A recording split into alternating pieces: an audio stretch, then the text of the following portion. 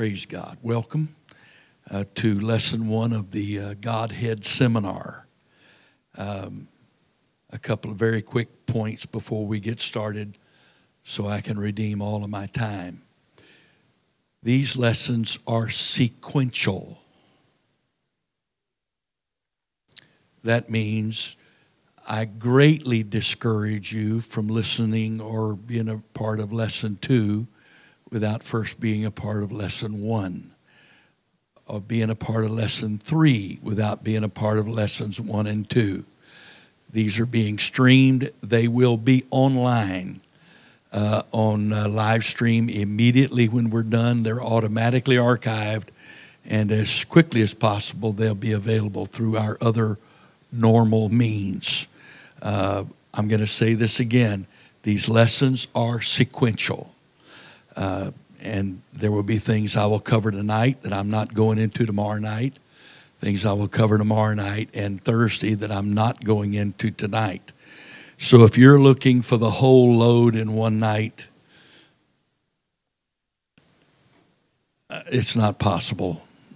Uh, I have spent weeks sifting through all the studies that I've got, just trying to find in the Holy Ghost what the Lord's uh, perfect will is for what is going to be covered. Uh, it's not possible uh, to cover all of that in three nights. So, if you will understand that I'm hitting the main points of the principle tonight, tomorrow night, and Thursday night, then you can understand that uh, why this has to be sequentially and why it's like this. Okay? Another thing is, I am going to be doing more reading than I normally would be doing. I will let you know that, or it'll be obvious that I'm reading because you're used to me looking at you, and if I got my head down, it's not because I'm napping. I am reading, okay? Uh, but there's some things that uh, I feel like uh, I, that have already been given to me, and so I'm going to to cover that. I am teaching, I'm not preaching, so uh, I have notes and I am reading some parts of this. Um, I have a lot of scripture. Uh, those that are on the computer will do their very best to keep up with me. Uh, I cannot wait. Uh, I've got so many scriptures to cover. I don't have the time to wait till it's on the screen. So, my hope is that you will come back, listen to this again, and stop, pause it when you're listening to it or watching it, and look up the scripture for yourself and read the scripture and not hurry through the scripture. That's not my purpose tonight. Okay? Father, we commit this time together with you. We submit to you. It is our desire that you will talk to us about yourself. We seek truth, Lord, nothing but the truth from your word. And we, you promised that when the Spirit of truth was come, you would guide us into all truth. And we claim that promise tonight and believe it in Jesus' name. This lesson is specifically on the I am God. The key word there is not God. The key words are I am. The real identifier is I am, not the word God. I am automatically means He's God. There can only be one I am and therefore whoever the I am is is God. So the word God there is more of a qualifier than it is the actual focal point of those three words. Uh, tomorrow night, I expect to be talking about the Logos, and then on Thursday night, we will we will wrap all of this up and try to answer some questions that you have left uh, from this. Uh, what, what if we could somehow wipe our minds, hearts, souls completely clear of everything we've ever been told about God, of every teaching we've ever heard, of everything we've ever read outside of the Bible, and start our search over again and confine that search to strictly the Bible. What if we could do that? I personally believe that the Lord would be very pleased with that. I believe most of our problems in understanding God and any other doctrine comes from extra biblical sources.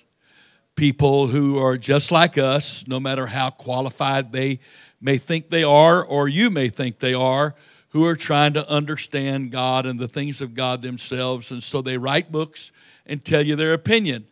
Well, I can't find fault with that because I write books.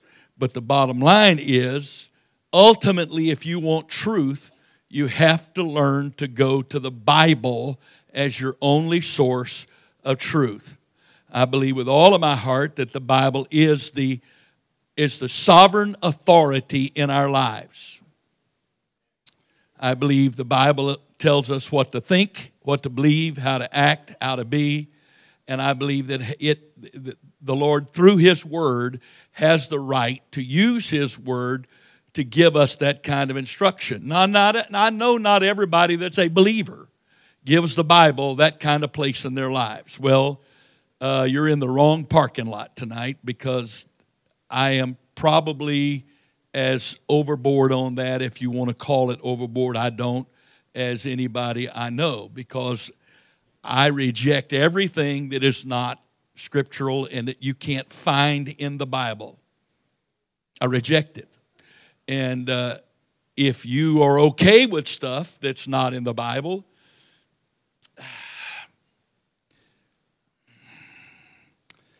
uh, we can have a discussion if you're interested. I think I can show you enough scriptures to prove that that position may be okay with you, but it's not okay with God. Okay? So, the purpose of this study is to go back to the book.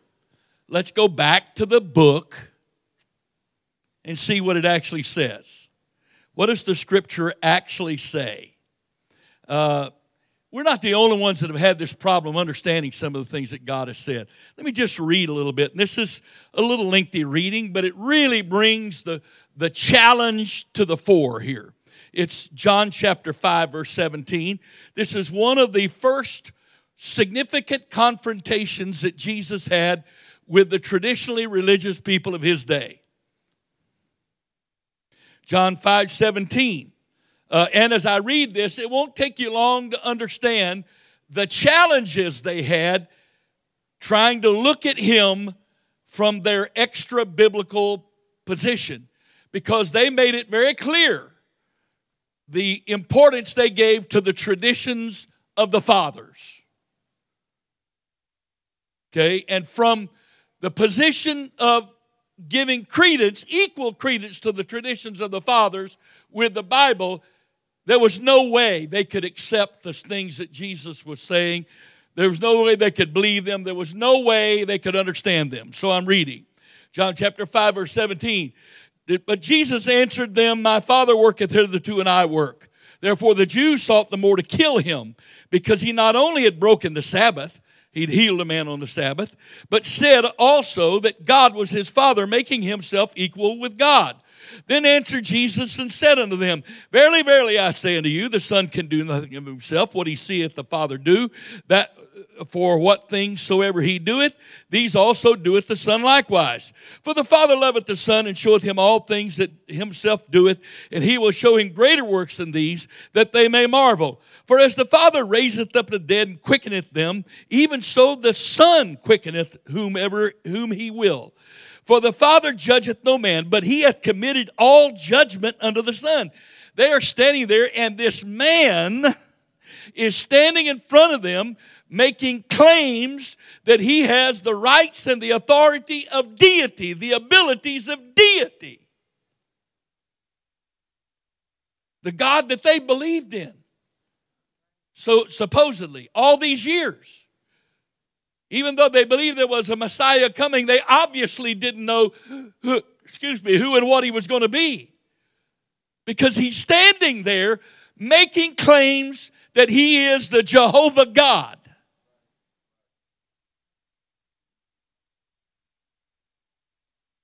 Verse 24.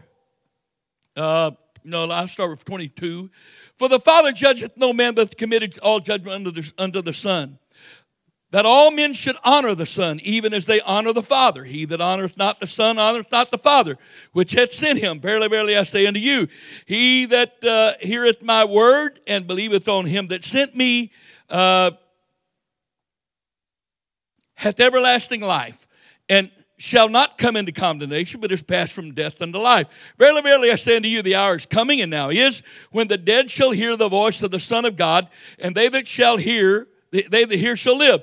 For as the Father hath life in himself, so hath he given to the Son to have life in himself, and hath given him authority to, execute judgment also, because he is the Son of Man. Marvel not at this, for the hour is coming, in the which all that are in the grave shall hear his voice, and shall come forth. They that have done good unto the resurrection of life, and they that have done evil unto the resurrection of damnation. I can hear of mine own, I can of my own self do nothing. As I hear, I judge and my judgment is just, because I seek not my own will, but the will of the Father which hath sent me. If I bear witness of myself, my witness is not true. There's another that beareth witness of me, and I know that the witness which he witnesseth of me is true. Ye sent unto John, and he bare witness unto the truth, but I received not tr- testimony from man, but these things I say, that ye might be saved. He he was a burning and shining light, and you were willing for a season to rejoice in his light. But I have greater witness than that of John. For the works which the Father hath given me to finish, the same works that I do, bear witness, the same works that I do bear witness of me that the Father hath sent me. And the Father himself which hath sent me hath borne witness uh, of me, and have neither heard his voice at any time nor seen his shape and ye have not his word abiding in you, for ye hath he hath sent me, for he hath sent, for whom he hath sent, him ye believe not.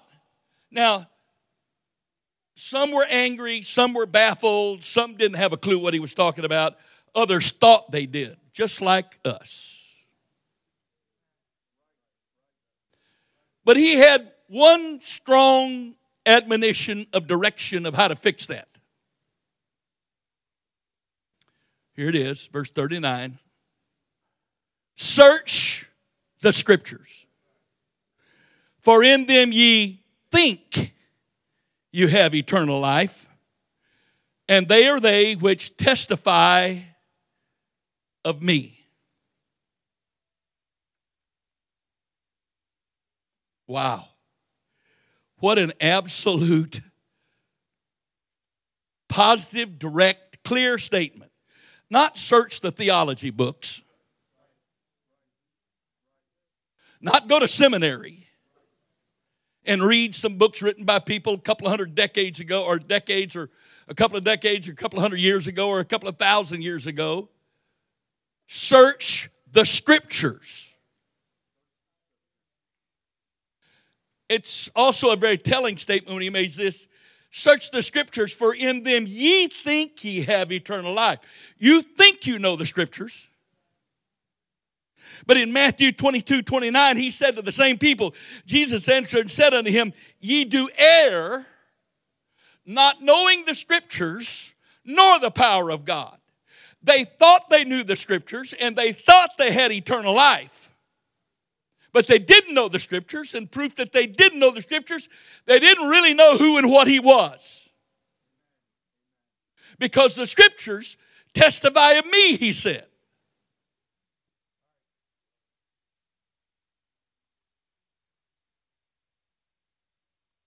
Matthew 12, 24, he said the same thing. Jesus answering said unto them, Do you, do you not therefore err because you know not the scriptures, nor the power of God? Knowing theology is not the same thing as knowing the scriptures. There's a whole lot of doctors of theology today that don't even believe in the Bible.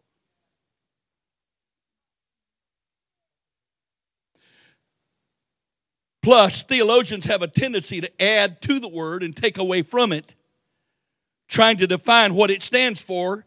In addition, they have a habit of inventing non biblical terminology in order to state their doctrines.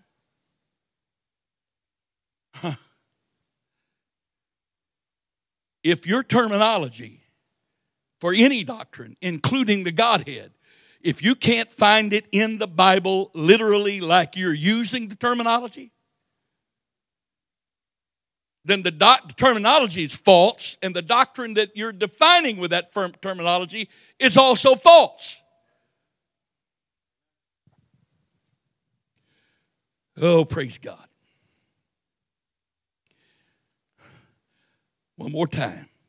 Terminology that cannot be found in Scripture cannot be used to, to define or identify divinely inspired spiritual subjects. Cannot. And if you're willing to use theologically invented words that you can't even find in the Bible, that there no concordance can find those things because they're not in there. If you're willing to use them, then you have to accept the consequences of what that produces in you.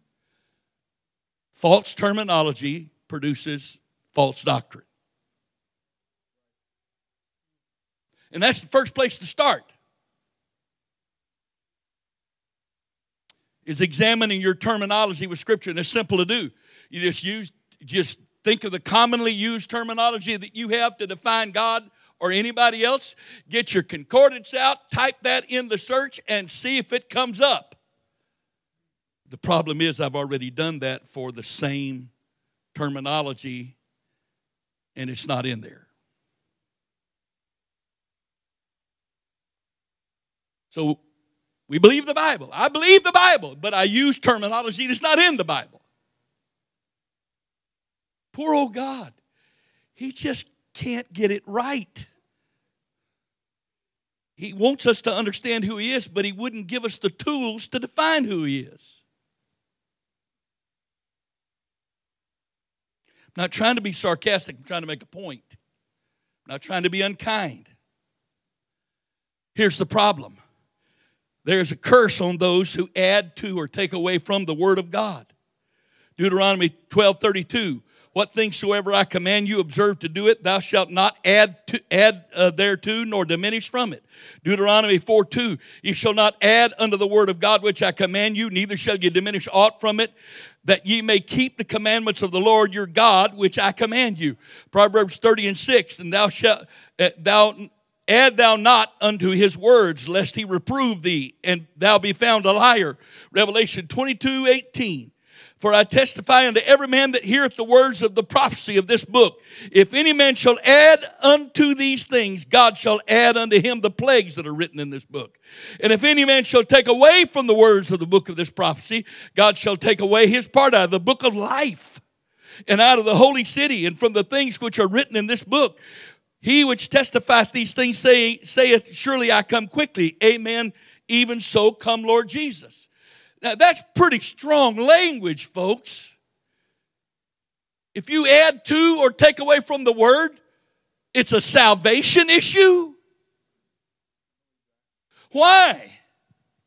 Because adding to or taking away from the word changes the message and the truth of the word. And it's not the act of adding to or taking away from the word specifically that causes a person to be lost. It's the, dece- the self deception and the error that you're fellowshipping with because you've added to or taken away from the word.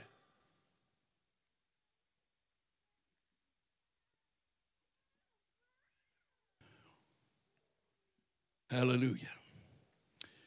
Truth is never communicated by unbiblical terminology ever.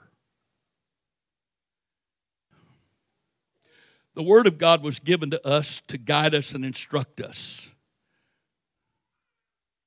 Psalms 119, 105. Thy word is a lamp unto my feet and a light unto my path. Proverbs 6, 23. For the commandment is a lamp, and the law is light, and reproofs of instruction are, are the way of life.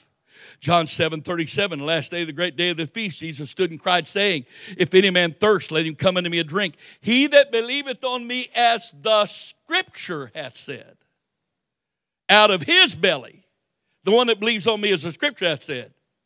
Because he said, Search the scriptures, for in them ye think ye have eternal life, and they are they which testify of me. So if you believe on me some other way other than the way the scripture hath said, Your faith doesn't work. You may claim to have it, but it doesn't work. That's not me saying that. Jesus said it. He that believeth on me, as the scripture hath said, out of his belly shall flow rivers of living water. But the spake he of the Spirit which they that believe on him should receive. For the Holy Ghost was not yet given because that Jesus was not yet glorified. And then the scripture that we all know very well, Matthew 4 4. But he answered, said, It is written, Man shall not live by bread alone, but by every word that proceedeth out of the mouth of God. The Word of God is life. Jesus said in John 66, 663, It is the Spirit that quickeneth, the flesh profiteth nothing. The words that I speak unto you, they are spirit and they are life. Psalms 19, verse 7. This is, this is so, so beautiful. Psalms 19, verse 7. The law of the Lord is perfect, converting the soul. The testimony of the Lord is sure, making wise the simple. The statutes of the Lord are right, rejoicing the heart. The commandment of the Lord is pure, enlightening the eyes. The fear of the Lord is clean, enduring forever. The judgments of the Lord are true and righteous altogether. More to be desired are they than gold, yea, than much fine gold, sweeter also than honey and the honeycomb. Moreover, by them is thy servant warned, and in keeping them there is great reward. Who can understand his errors? Cleanse me from secret faults. That verse, in the context of the previous verses, tells me the way that I can understand my errors and the way that I can be cleansed from my secret faults is the Word of God. Second Peter chapter 1, verse 18. And this voice came from heaven, and, this voice which came from heaven we heard when we were with him in the holy mount we have also a more sure word of prophecy, more sure word than the voice of God speaking from heaven. We have also a more sure word of prophecy, whereunto ye do well that ye take heed. As light as unto a light that shineth in a dark place, until the day dawn and the day star arise in your hearts, knowing this first, that no prophecy of scripture, of the scriptures, of any private interpretation. For the prophecy came not in old time by the will of man, but holy men of God spake as they were moved by the Holy Ghost. Peter calls that a more sure word of prophecy. And then finally, finally, the next last passage on this, 2 Timothy chapter 3, verse 12. Yea, and all that will live godly in Christ Jesus shall suffer persecution. But evil men and seducers shall wax worse and worse, deceiving and being deceived. But continue thou, he's talking to Timothy. Paul is talking to Timothy through the Holy Ghost. But continue thou in the things which thou hast learned and, and hast been assured of, knowing of whom thou hast, heard, hast learned them. And that from a child thou hast known the Holy Scriptures, which are able to make thee wise unto salvation through faith which is in Christ Jesus. All Scripture. Not anybody's opinion not any church's doctrine or dogma, not any preacher's opinion. All scripture is given by inspiration of God and is profitable for doctrine, for reproof, for correction, for instruction in righteousness, that the man of God may be perfect. That doesn't mean flawless, that means fully equipped, brought to a place of, of spiritual maturity by the word, thoroughly furnished unto all good works. And of course, I've already quoted the verse, but we're not, we're not to read and study the Bible by ourselves. It is the only book in existence that every time you read it, you can sit down with the author while you're reading. It's the only book in existence. And if you're reading it without his, him present, if you trust what you're understanding, God have mercy on you. God have mercy on you. John 16, 12. I have, I have yet many, Jesus said, I have yet many things to say unto you, but you cannot hear, bear them now. Listen to this now. Howbeit, when He, the Spirit of truth, is come, He will guide you into all truth. How's He going to do that? For he shall not speak of himself. So the Holy Ghost can't talk for himself? Not according to this. For he shall not speak of himself, but whatsoever he shall hear, that shall he speak, and he will show you things to come. He shall glorify me, for he shall receive of mine and shall show it unto you. I've got a lot more stuff to tell you, but I can't because you're not able to receive it right now. But the, the Comforter, which is my spirit, he said in another place, I'll show you tomorrow or Thursday. Uh, the Comforter, when he comes, he's going to guide you in all truth, but he's not going to talk for himself. He's going to hear whatever I've got to say, and he's going to tell you what I've got to say. Hmm and he will guide you into all truth. I, uh, I want to share something with you. Uh, on the early in the morning on March the 27th, I woke up and I was in prayer and I heard this word seminal scriptures. I went, seminal scriptures. I don't, I don't even know what that word means, and it's not in my vocabulary but I heard it. So I looked up the word seminal, and it means of essential importance, specifically basic, central, or principal, crucial, critical, or pivotal. We call something seminal when it is so original, so groundbreaking, and awesome that it will influence everything that comes after it. And I wrote this down because the Holy Ghost dictated this. I read this, it doesn't even sound like me. This is not the way I talk, this is not the way I think, but I can write what I hear. Seminal scriptures are those which contain such a definitive statement of principle as to affect all efforts to accurately interpret the scripture on a specific subject that they cannot be ignored without jeopardizing the faithfulness of the interpretation. I'm going to read that one more time because it's critical. Seminal scriptures are those which contain such a definitive statement of principle as to affect all efforts to accurately interpret the scriptures on a specific subject that they cannot be ignored without jeopardizing the faithfulness of the, of the interpretation. All scriptures given by inspiration of God, however, on any particular biblical subject or topic, there are verses that are pivotal to the revelation or understanding of that particular subject. And if we ignore those particular verses that are the keys that unlock the door of understanding,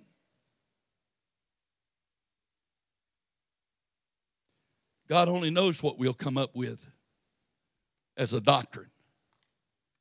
Simply because we ignore the seminal verses. Now, I've taught in the past primary and secondary verses, and I defined them this way. This was my way of putting it, not something as intelligent as seminal.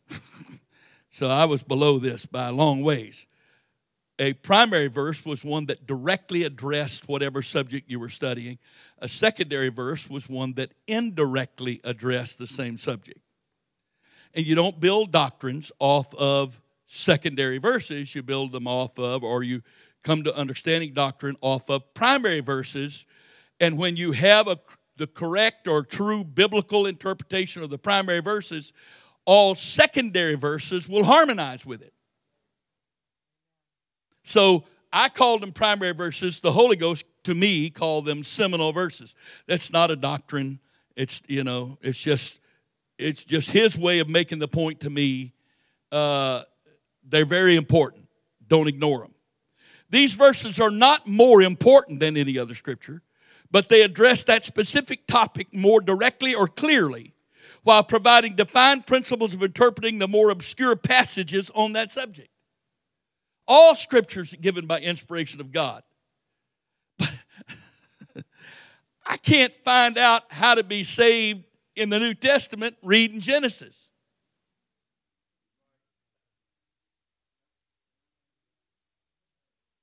There are hints in Genesis about New Testament salvation, but they're barely hints. They're foundational stuff, but there's no, you don't know what the house is supposed to look like. That's why the Lord says this. Uh, let me add one more paragraph to read that I was given. Inaccurate interpretations of Scripture are often a result of basing a teaching or doctrine on the obscure verses while ignoring the seminal verses that clearly, plainly, and specifically address that topic. So, in these three nights, we're going to focus on, because of time, on the primary verses, on the ones that are the most obvious, dealing with the subject. And uh, I would love to have the time to deal with all the obscure. I, I love that. I, I love finding the key that makes all of that fit into place. You don't have the time, and neither do I. Okay. Isaiah 34 16, the Lord says, Seek ye out of the book of the Lord and read. No one of these shall fall, fail, none shall want her mate. For my mouth it hath commanded, and his spirit it hath garnered, gathered them. I don't need to interpret the scripture. I need to find the mate of that scripture in scripture that unlocks the meaning of that verse. When I read a scripture, and all I do is read that scripture, and then I try to figure out what does that mean, and I come up with some kind of opinion of what that means. I'm doing myself and anybody I talk to a disservice. Because the only way to know what that verse means is to search the scripture and find the scripture where God tells what that verse means. And none shall want her mate. Every verse, every principle in the scripture has other scriptures that will unlock that the understanding of that principle. And if I don't look for those verses and I don't give credence to those verses, and I'm just repeating what I've been traditionally told and did a little bit of reading and said, well, it sounds like that's what it says. I'm doing myself a disservice. No offense. I love God and I'm in the ministry and appreciate the ministry. But like the Bereans, I don't trust anybody till I check what they've said in the book. And if I can't find what they said in the book, they may be nice people, but I'm not believing them or following them. Because the Jesus talked about the blind leading the blind. What is that? People who just swallow what they're told without going to the book for themselves. Now, some will take my statement there and say it's okay to be skeptical and unbelieving. No.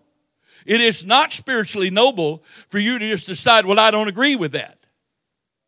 You're in worse shape doing that than you would be if you were just blindly following. But the point is, biblically, you and I are supposed to take what we hear, go back to the book to verify that it's either in there or it's not in there.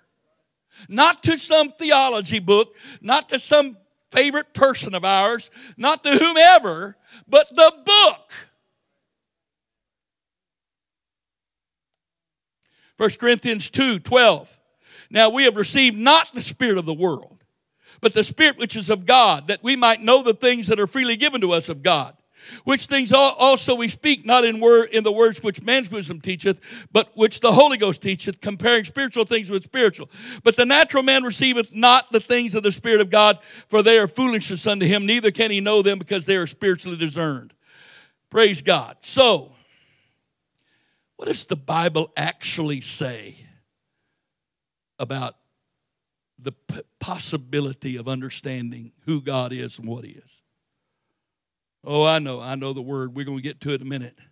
The Godhead is a mystery. Hmm. Please don't let anybody know you thought that because I don't want you to be embarrassed here in a minute. First of all, Jeremiah 9 23 says this Thus saith the Lord, let not the wise man glory in his wisdom, neither let the mighty man glory in his might. Let not the rich man glory in his riches, but let him that glorieth glory in this, that he understandeth and knoweth me, that I am the Lord, which exercise loving kindness, judgment, righteousness in the earth, for in these things I delight, saith the Lord. Wait, wait, wait, wait. I thought God, God was incomprehensible and unexplainable. No, there are doctrines about God that are incomprehensible, unexplainable, no, but not God. Because he said, I'm, let me read you the Amplified on this. Verse, verse 24 from the Amplified. But let him who glories glory in this that he understands and knows me personally and practically, directly discerning and recognizing my character. The word glory there in the Hebrew actually means boast. And a couple of translations translate it that way.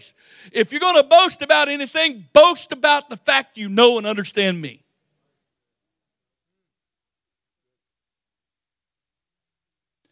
Biblically, the Godhead is not mysterious. The definition of mysterious is something that is difficult or impossible to understand or explain. The definition of the Greek word mysterion, which is translated mystery in the King James and other translations, according to Strong's, is from a derivative of the, of the word, Greek word that means to shut the mouth it means a secret or mystery through the idea of silence imposed by initiation into religious rites. Thayer says it means a hidden or secret thing, a hidden purpose or counsel. The Greek word me has nothing to do with the idea of incomprehensible and unexplainable. So, it is intellectually and spiritually dishonest to use the English word mystery as the basis for describing the Godhead as mysterious, meaning incomprehensible and unexplainable, etc., in order to cover the fact that one's understanding of God and the Godhead is not scriptural. The Greek word mysterion has no such meaning as mysterious. You know, I, I stand here and make statements like this. Today, it's really easy to verify whether or not I'm telling the truth. If you've got even the most rudimentary or elementary uh, Bible software program or app on your phone, one that gives the definitions, it's easy to check it. I don't fear you checking it because I already did. God is not a mystery, He is a secret that He hides from those whose hearts are not open to Him. If you're willing to accept something less than the truth of the Bible, I'm not talking about a church, a doctrine, a dogma, a religion, I'm talking about the Bible. If you're willing to accept something less than what the Bible says, that's between you and God, but I'm not willing to accept that. In fact, listen to the way the Greek word mysterion is used when describing what God is giving his people by revelation. I'm reading, it's a little bit long again, Ephesians 3 1. For this cause I, Paul, the prisoner of Jesus Christ for you Gentiles, if ye have heard of the dispensation of the grace of God which is given to me you, to youward, how that by revelation he made known unto me the mystery by revelation, he made known unto me the mystery. Revelation means uncovering or revealing. If mystery is incomprehensible, there's no amount of revelation that can uncover it and explain it. How that by revelation he made known unto me the mystery as I wrote afore in a few words. Whereby when you read, you may understand, when you read, you may understand my knowledge in the mystery of Christ which in other ages was not made known unto the sons of men. In other ages, as it is now revealed unto his holy apostles and prophets by the Spirit. It used to be hidden, but it's not being hidden anymore. As second, as First Corinthians chapter two, I read a few minutes ago, just a few few minutes ago, says you know, the Spirit of God is the one that's revealing to us the truth of the Word of God. We've been given the Spirit so the Spirit can guide us into truth. Uh, for time's sake, I'm going to skip down here a little bit. No, uh, let me let me go there. Verse eight. Unto me who am, am less than the least of the, all the saints is this given that I should preach unto the Gentiles the unsearchable riches of Christ and to make all men see what is the fellowship of the mystery which from the beginning of the world hath been hid in God who created all things by Jesus Christ. It was hidden from the foundation of the world. It was hidden all the way up until Bethlehem. And he began to re- reveal it then. Finally, Romans 16 25 says this Now, unto him that is of power to establish you according to my gospel and the preaching of Jesus, according to the revelation of the mystery, which was kept secret since the world began. You don't have to keep incomprehensible secret. You can put incomprehensible out there and nobody can comprehend it because it's incomprehensible. So, why do you have, if you're hiding something, it's because it's understood if it's clearly seen. So you hide it.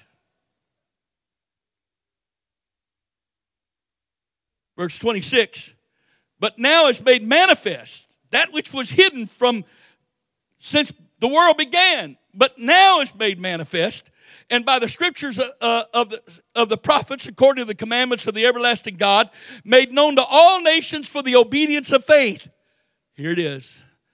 To God only wise be glory through Jesus Christ forever. Amen. We're going to talk a little bit more tomorrow about what that means. To God only wise be glory through Jesus Christ. What is, what is the deal with mystery and revelation?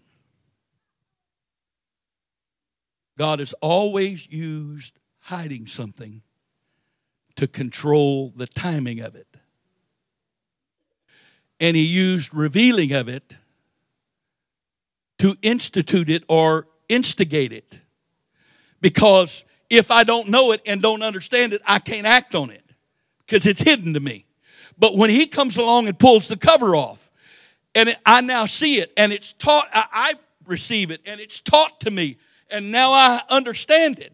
That does something to my faith and takes my faith into a different level. And now I'm going to act differently on that faith. And by having different faith and acting different on that faith, God can then bring about what it was that it wasn't His time for it. How important is it that we know who and what God is. Just for time's sake, I'm skipping this. The first four of the Ten Commandments is about God and our actions toward Him.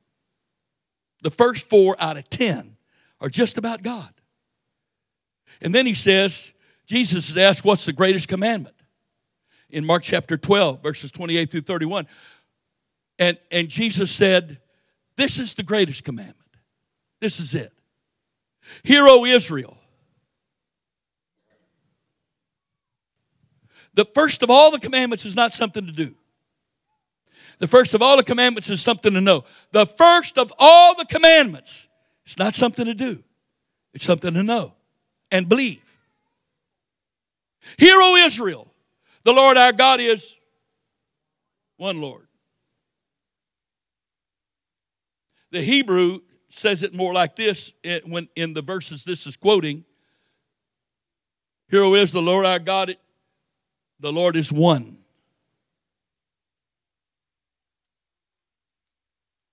And thou shalt love the Lord thy God with all thy heart, with all thy soul, with all thy mind, with all thy strength. This is the first commandment. In other words, if I don't know who I'm loving,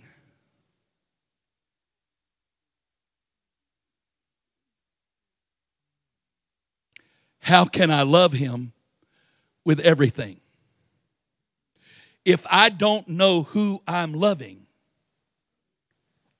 whom I'm loving.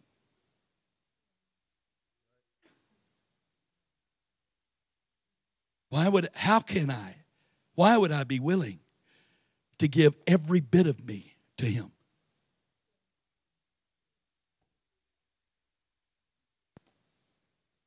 And then one of the most misinterpreted verses 1 Timothy 3:16. And without controversy, great is the mystery of the Godhead. No, it's not what it says. Not what it says. Great is the mystery of godliness. In the Greek word, there is piety, or Thayer's Greek lexicon says it means reverence, respect, piety toward gods, or godliness. So if if the mystery or the secret of godliness is knowing who I'm serving. I can't be committed to someone I don't know who they are. The mystery is not the Godhead. This is the mystery of piety, of commitment to God, of dedication to God, of true discipleship. It's knowing who you're serving, knowing Him. We can't faithfully serve a God we don't know any better than we can be married to somebody we don't really know. You might endure together, but you're not enjoying the trip if you don't know each other. The problem is sometimes we think, well, I know them too well. No, you don't. If I'm only judging based on what actions I'm experiencing, and I don't have any clue what makes my loved one act like that, I don't know them. Okay, we've only gone and 45 minutes, and now it's time to talk about who God is. And probably one of the most amazing declarations of God anywhere in the Bible took place on Mars Hill in Acts chapter 17. And what's so amazing about it is it was spoken to a bunch of heathens. Not Jews that believed in the one God of Abraham, Isaac, and Jacob, but people that didn't even have an idea who God was so much that they actually had an altar to cover all the bases that says to the unknown God. Acts 17, verse uh, 16. Now, while Paul waited for them in Athens, his spirit was stirred in him when he saw the city wholly given to idolatry. Verse 22. Then Paul stood in the midst of Mars Hill and said, Ye men of Athens, unbelievers, I perceive that in all things you're too superstitious. And that word superstitious is piety that leads to fear instead of trust. In other words, it is faith that's trying to appease a God you don't know but you're afraid of. Sounds like religion to me.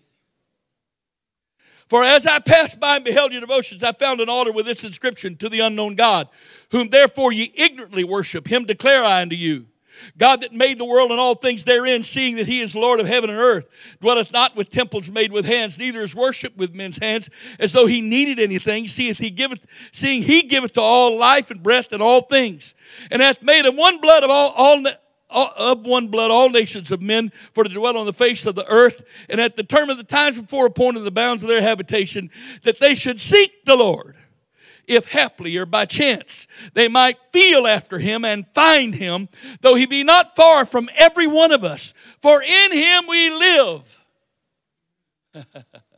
and move and have our being. The point is, these idols you've got and these altars that you're trying to cover all the bases with because you're afraid of God. You don't know Him nor trust Him.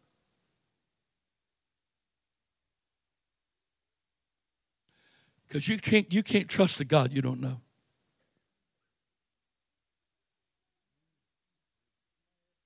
Jesus taught us to pray, Our Father which art in heaven. Not the Father, not hey God, my Father who's over everything. How can I trust a father that I don't really know who he is, what he is? Hmm.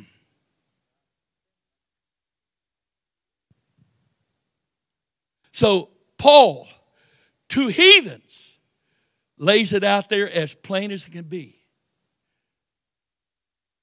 Singular pronouns he, he, he, he, he, he, he. God he made the world, set all these humans here for His purposes. Here's the, here's the problem we've got.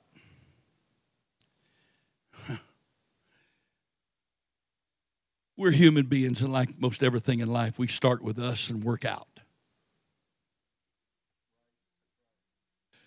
And how many of our doctrines start with er, us and work toward God? How much of our piety starts with us and works toward God? How much of our prayer is trying to convince God to do our will?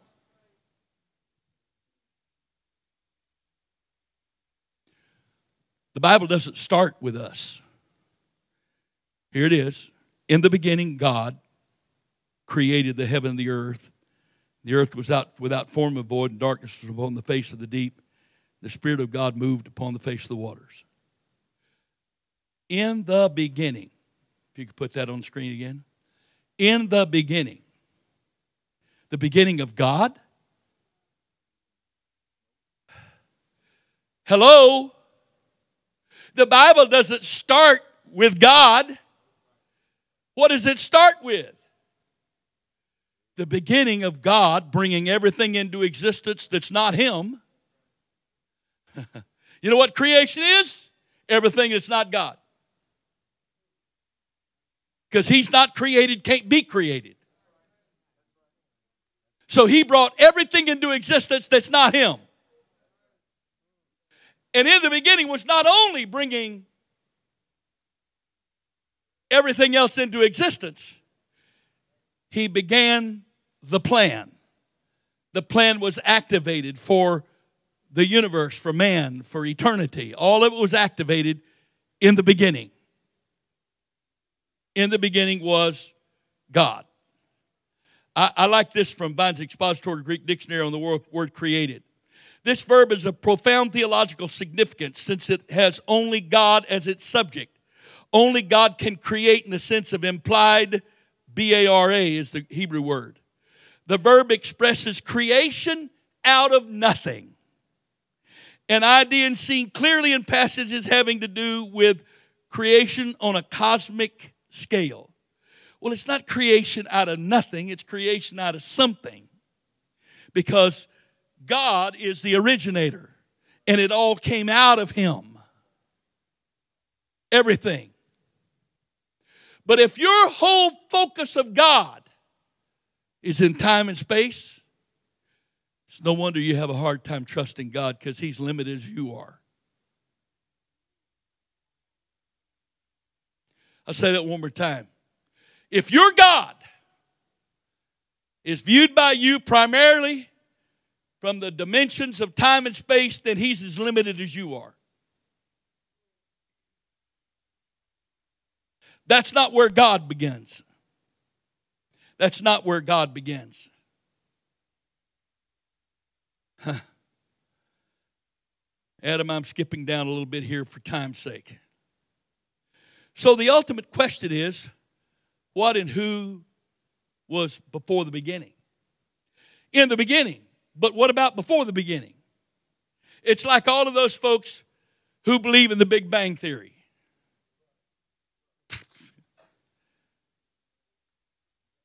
but they can't answer the two most important questions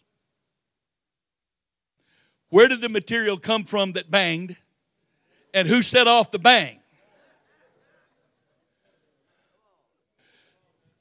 They, can, they neither can nor will go beyond that. Because to go beyond that brings them face to face with God. How do I know that? Psalms chapter 90, verse 1. In, now, in my Bible, here's what actually starts before verse 1 A prayer of Moses, the man of God. Lord, thou hast been our dwelling place in all generations. Before the mountains were brought forth, or ever thou hadst formed the earth and the world. Isn't that redundant? Earth and world? Or maybe in the Hebrew it really should have been earth and universe, as some scholars have opinionate, uh, opined.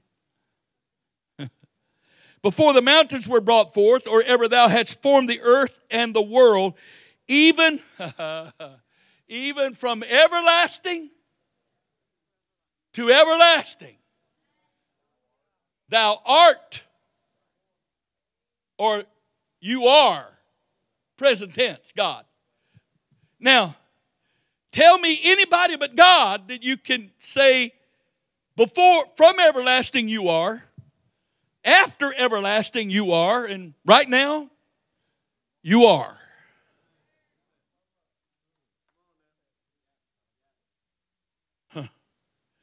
Living Bible says the last part of that verse means you are God without beginning or end. New Century Version says you have always been and you will always be. Bible of Basic English says before time was and forever you are God. The complete Jewish Bible says from eternity past to eternity future you are God. The Holman Christian Standard Bible says from eternity to eternity you are God. Now, So, so some of us, we have a really big view of God. He fills all time and space. Wow. And the problem with that is that's the way I defined him for years. Because I did not understand that my whole view of God was from the perspective of man. And what's worse, if you don't get outside of time and inside of time you're trying to figure out all this father son stuff, what does that mean? You don't have a clue of getting it right. You don't have a chance how to get it right. Because you can only understand the Father and the Son from outside of time, looking in. You can't understand that from inside of time looking out when you don't even know how far out to look.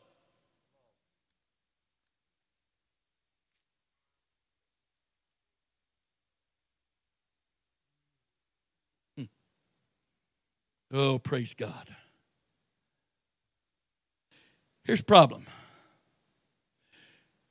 Now, there's a couple of you here that are very connected to Judaism, and I don't want to be offensive. Okay? But Genesis 2 and 4 tells us of the generation of creation were performed by YHWH. These are the generations of the heavens, universe, and the earth when they were created. In the day that the Lord God made the heaven and the earth. The word Lord there is not Jehovah. It's YHWH, or I don't know how you pronounce the Hebrew letters, but those are four Hebrew letters. This is the first time this word name, this name is used in all the scripture. Genesis 2 4. There's problem. It's used as Jehovah.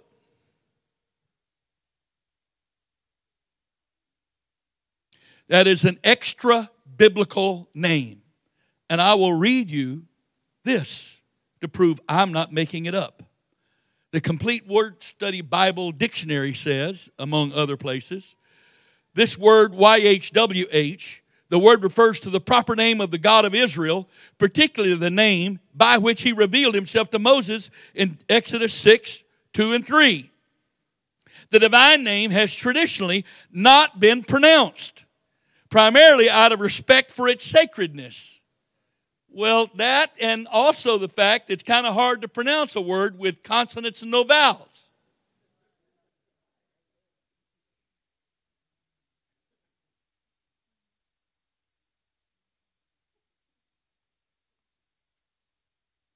However, until the Renaissance, it was written without vowels in the Hebrew text of the Old Testament, being rendered as YHWH. However, since that time, the vowels of another word, Adonai, have been supplied in hopes of reconstructing the pronunciation. Oh, so you think God lost it somewhere? There's a reason why he only revealed it as YHWH. Because it wasn't revealed yet.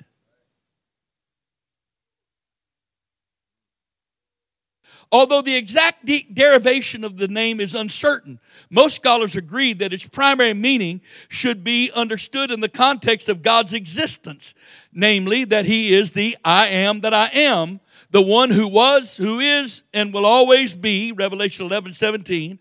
Older translations of the Bible and many newer ones employ the practice of rendering the divine name in capital letters as L O R D, not Jehovah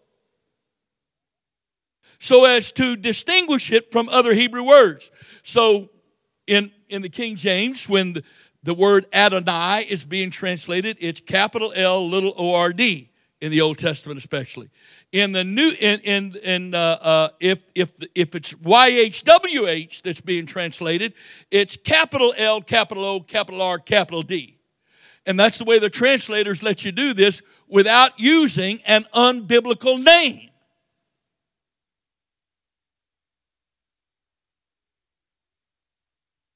If God didn't add those letters, if you can't find any place in the book where He said add those letters, then there's a problem adding those letters. Why? the problem is we've created a God that we've named with a name that's not the name He claimed.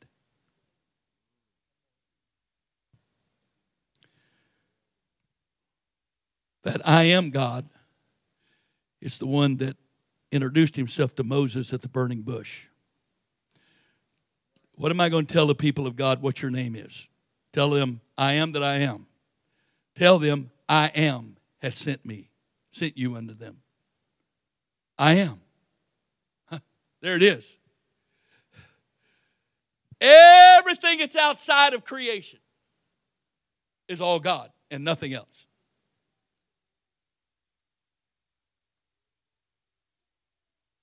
And since there is no space outside of creation, and there's no time outside of creation, there's only one way to define or measure God, and that is existence.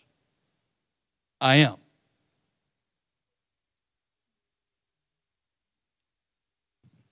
Now, at 72, I know what the Bible says, I know the clock's ticking. Just the way it is. But because he's the I am, there's no clock ticking for him. And if I'm in him and he's in me, it doesn't really matter if I'm in this body or not, as long as I'm in him. It really doesn't matter. Because he is the self existent one. There is nothing and nobody that can resist him. And any resistance that seems like it's going on is permitted for a very short time for his own purposes. Some of those purposes is to reveal to yourself your real attitude and spirit toward him. I am that I am. I am that I am. Malachi chapter 3, verse 6, this is the last book of the Bible. For I am the Lord, little capital L, little O R D, Adonai. I am the Lord. I change not. Well, of course not. God is unchangeable because change is a function of time, and He's beyond time. Whoever and whatever He is now, He's always been and will always be. He can't be anything different.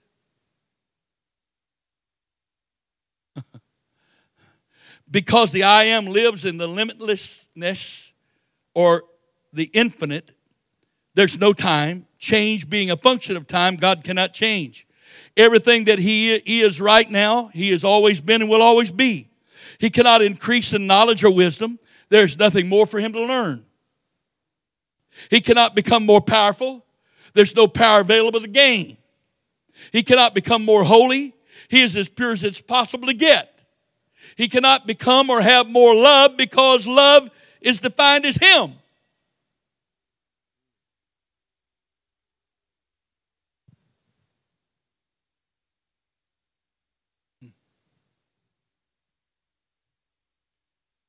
Nehemiah said it this way, chapter 9, verse 6.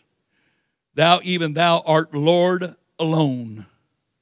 Thou hast made, the, made heaven, notice this now, and the heaven of heavens. That is a scriptural terminology for the universe. Heaven with no S is the atmosphere of earth. Heaven of heavens is the universe. Even thou, even thou art Lord alone. Well, of course, He's Lord alone. If I am exists outside of creation, there's no place for anybody else to exist.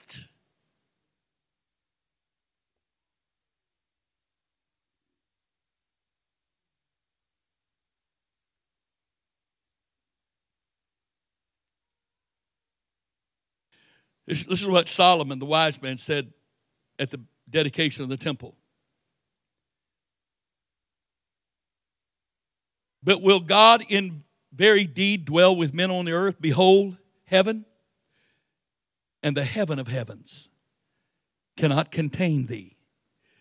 How much less this house that I built.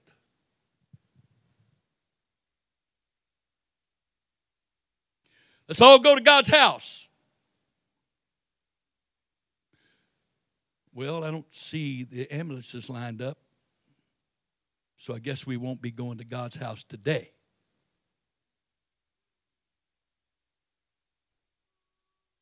Not trying to be facetious or sarcastic. I'm trying to get you to think. I'm trying to jar you free from the imprisonment of your traditional concepts that are not biblical.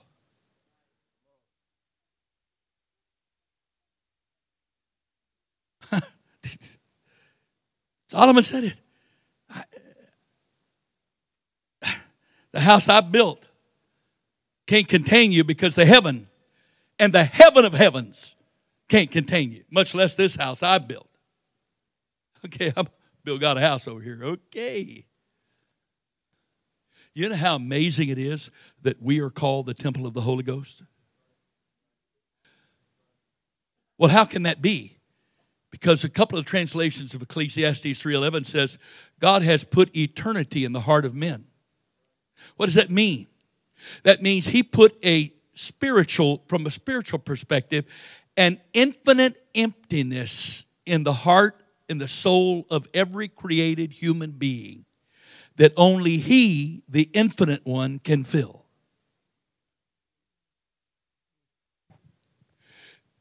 So that's why you and I are the only ones possible, individually and collectively, capable of being the house of God. This building doesn't have, or any other building we call a church, doesn't have eternity put in, built in it. I was a part of building this. I don't know where we put eternity.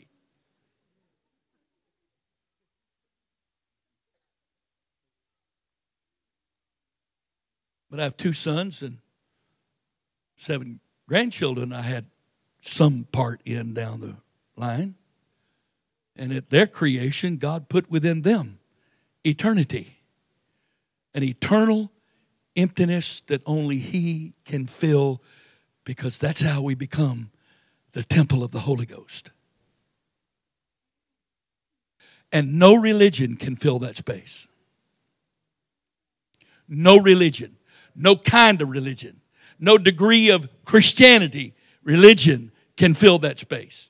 God by His Spirit and only God by His Spirit can fill that space. All right, I'm winding down now.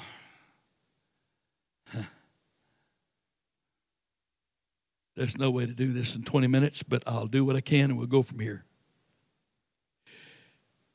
At 4:30 in the morning on April the 7th, which would be last week, I woke up having a dream where I was standing in the pulpit and I was teaching. And I got up and got my iPad out and started writing down what I heard.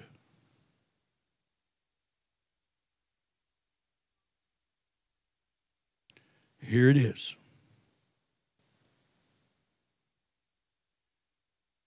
The only biblical measurement of God is He exists or I am. Again, to understand who and what God is, we have to begin before the beginning. We must go outside of and beyond time. This is where the I am is. He is the unlimited God. He only fully exists outside of time. He is the self existent one, the limitless one. And according to Psalms 90, He is from everlasting to everlasting. He has no beginning and no ending. Everything exists in Him. He is in everything, but everything exists in Him. As the Creator, He was here first. He cannot create outside of Himself. He could only create inside of Himself. Nothing can exist outside of the I am. Everything exists inside of the I am. In choosing to call or identify himself as the I am, he chose existence as the only measurable or better yet identifiable parameter to define himself with and by. No other measurement can be used in any way to describe him. Even saying that he fills all time and space is by definition limiting him to time and space. More accurately, time and space only exist in Him, and they can have no existence apart from Him. Now, I fully understand that you're sitting there listening to this. It will take the Holy Ghost for anybody to receive this because I'm still chewing on this every day. And I don't mean chewing on it to figure it out. The Bible said of Cornelius that there was a memorial built before God by, by Cornelius, causing him to send the angel to Peter, etc., etc. The Greek word memorial there, and also used of Mary when she broke the alabaster box over his feet before his death. That Greek word mean it comes from two Greek words that mean to stay in the mind and chew. So, the Word of God is supposed to stay in our minds and spirits and chew on us, not in a negative way, but just be there, just kind of working inside, not laboring to understand, but just letting it work through your mind and spirit. And then God begins to put the pieces together, and all of a sudden one day you go, I see it. I see it.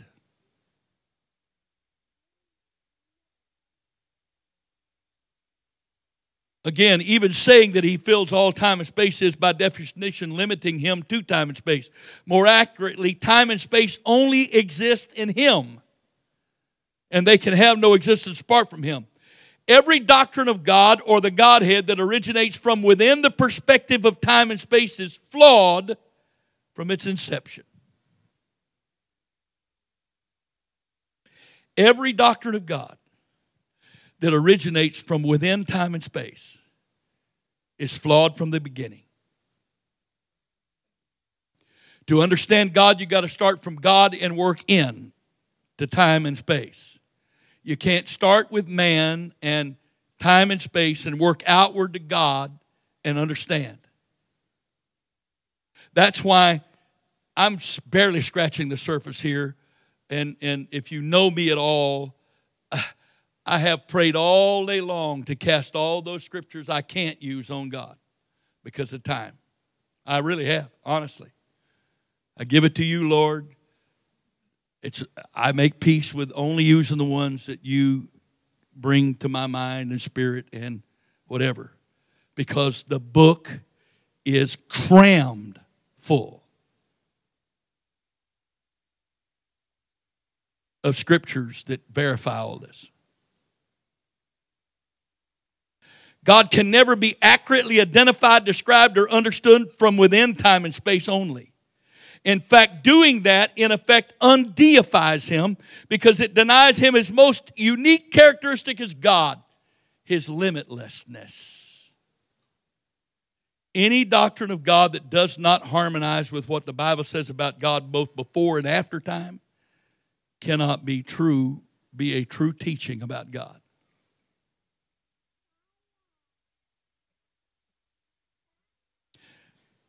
I know, I understand, you know, it's easy to sit here and go, okay, what does all this have to do with me? Honestly, everything if you want to go to heaven.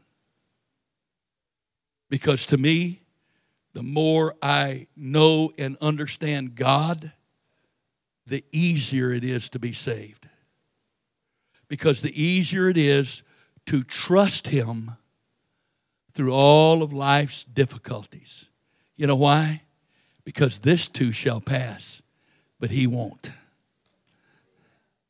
There's no situation I'm in that's permanent. Only God is permanent. And if I focus on my problems, I'm going to fail, fall, give up, quit. If I focus on the one who's above all of this and is in control of everything, I'm going to make it. But I got to know him to trust him. I got to know him. Rather than viewing God from our perspective, we need to view us or creation from his perspective. That alone is the source of and path to all truth, starting with God first. Everything must begin with God, not us. I know that sounds so simple, but uh, how, do, how, how are we doing living that?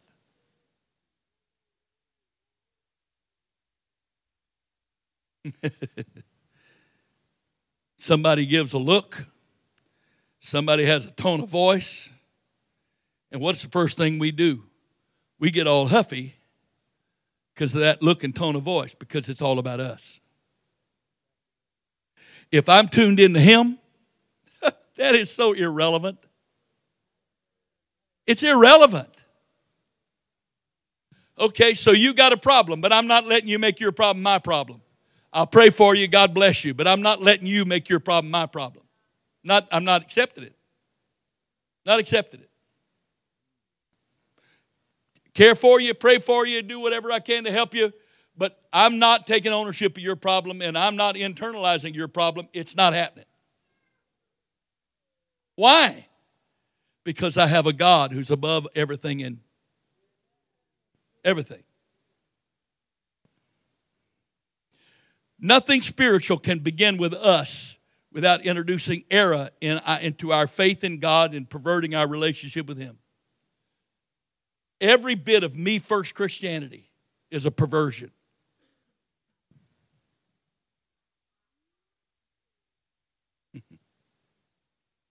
Every bit of me first Christianity is a perversion. That's strong language, brother, right? No, it's not. That's really toned down. I'm just just saying. Every bit of me first Christianity is a perversion.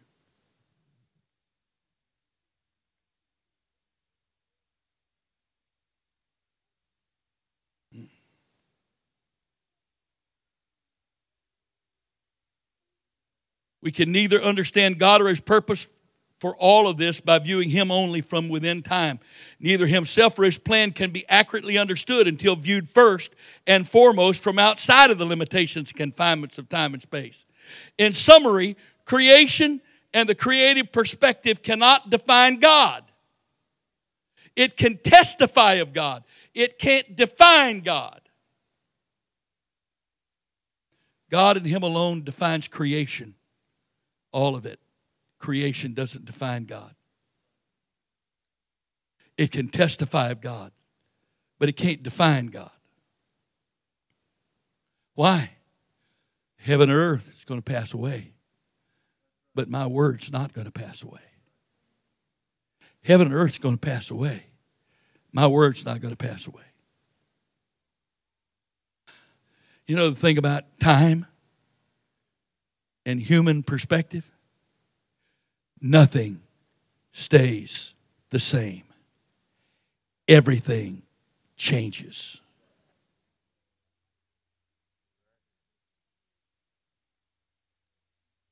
Nothing stays the same. Everything changes. The only unchangeable element in all of this is God unless you make him a part of your universe and then he's subject to change with you.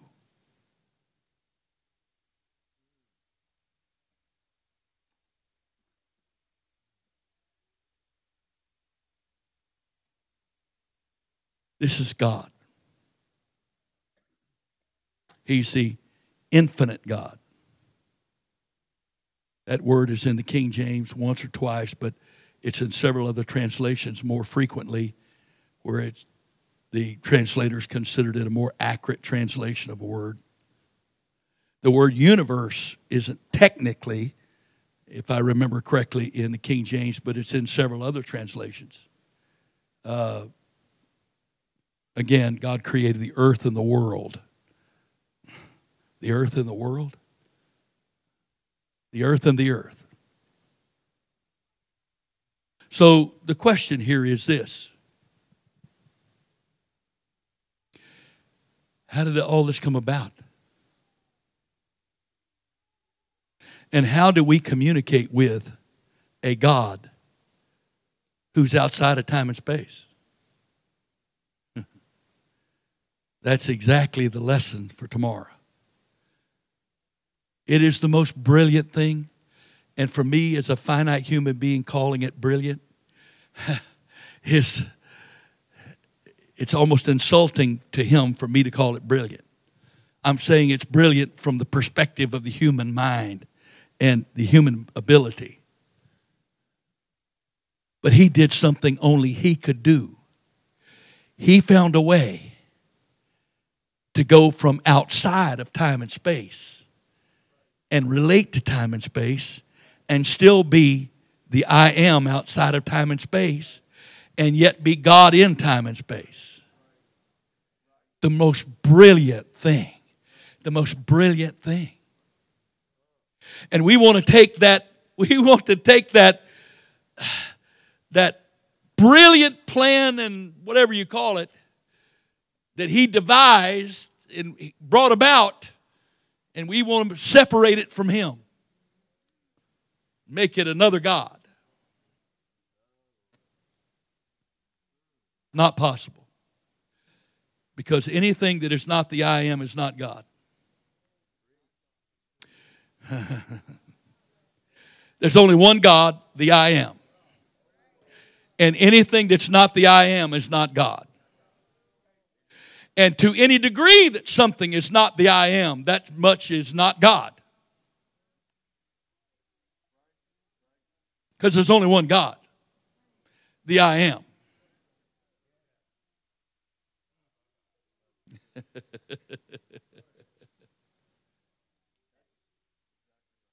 so, how did he? How did he? from out there as the I am, how did he find a way to be the I am in time and space and still be the I am? How do you do that? Well, here's the verse. We'll start somewhere here tomorrow night. Another beginning.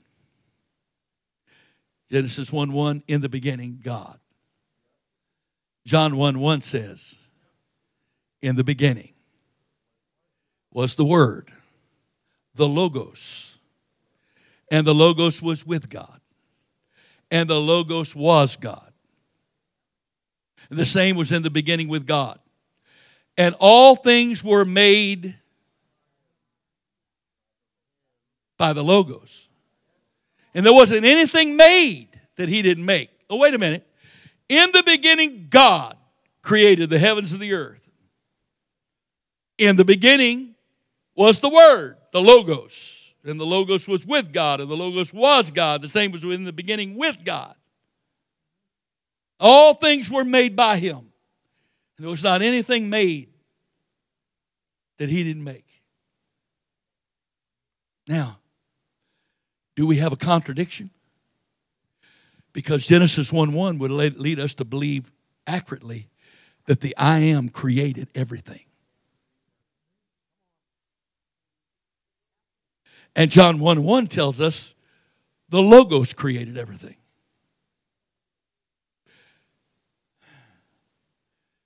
Here's the secret the Logos is the I am in time and space.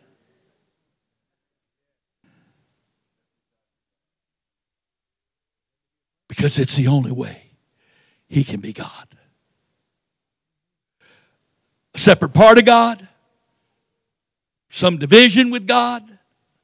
The only difference between the I am out of time and space and the Logos in time and space is the Logos is the I am in time and space. Well, is there any Bible for that? Yeah. John 5, 858. He said, Before Abraham was,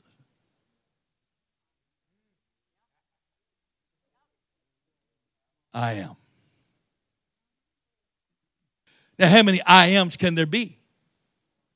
Bible says, I am did it alone, by himself. So therefore, the logos can't be separate from or different from the I am, except that it's the I am in time and space. Because if it's not the I am in time and space, then it's not God and can't be God because there's only one God the I am. See the point? It really is clear when you start from God and work back to us instead of starting with us and trying somehow to find your way to God and understanding God. Makes all the difference in the world. Hallelujah. yeah, there's a verse that kind of goes along with that. For unto us a child is born Unto us a son is given. The government shall be upon his shoulder, and his name shall be called Wonderful Counselor, the, the Mighty God, the Everlasting Father, the Prince of Peace. Several translators actually put it this way the Father of eternity. Now, there can only be one who's the Father of eternity. The I am. Father, thank you for this time together with you. Thank you for your word. We acknowledge to you, Father, that intellectually, through our own wisdom and prudence, we cannot understand you. But as you said to Peter, that this, revela- this comes by revelation because it's been hidden from the wise and prudent and revealed unto babes. And we confess, Father, we cannot take any credit for any understanding or any degree of revelation that we have in understanding you. We can't take any credit for that. Because whatever we have that came from you came from you alone. We've simply received and believed. And we give you thanks for it in the name of the Lord Jesus Christ. Amen. Before I let you go, uh, I have decided, because of the impossibility of covering all these scriptures, that when this week is over, all three of my notes, if you will understand they are teaching notes, not explaining notes, they will be made available for you to download and just study. You'll have all the scriptures. Okay? So that won't be till after Thursday night. God bless you. See you tomorrow night. Starting again at 7:30 sharp tomorrow night.